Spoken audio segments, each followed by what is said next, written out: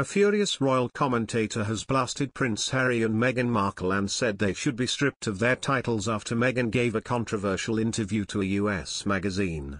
In an interview with The Cut, the Duchess made several unflattering comments about her old life as a working member of the family. These included that she would have been prevented from dropping her kids to school and accusing the British media of calling the children the N-word with no evidence. In response, prominent critic of the couple, Allison Pearson wrote in The Telegraph that Meghan's grievances grow ever bolder and more extravagant, floating free of any observable reality. Commenting on the couple's return to the UK next week, she said, in effect, we have a quasi-royal tour with the couple now snubbing, or being snubbed by, the very institution from which they derive their power and celebrity. It's bizarre. And damaging to the monarchy. Clearly, it's time the Sussexes lost their royal titles whose privileges they enjoy without the accompanying responsibilities and restraints. Harry and Meghan will return to the UK together next week for the first time since the Queen's Platinum Jubilee in June. The couple will first attend the One Young World 2022 summit in Manchester on September 5. They will then attend the Well Child Awards 2022 on September 8. The high-profile charity event shines the spotlight on some of the UK's seriously ill children and young people, as well as those that care for them. Prince Harry has worked with the charity for some years as a patron to spread awareness and encourage people to participate in nominations.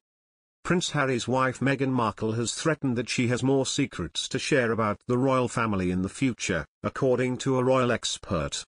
Meghan made more claims about her time as a senior royal in new interview. But the Daily Mail's royal editor Richard Eden, believes the Duchess of Sussex could have more to say. Eden said, she made a series of very unsubtle hints that she could say a lot more in the future. It seemed to be clear that they were threats. She was coming across as saying, I can say these things, I've chosen not to. The Duchess of Sussex revealed for the first time that she kept a daily journey before she stepped away from royal life with Prince Harry, sparking fears she has more to tell. Meghan Markle is receiving flack for driving everybody nuts with her antics. The Duchess of Sussex is called out for her shocking move by Princess Diana's designer in a fresh confession.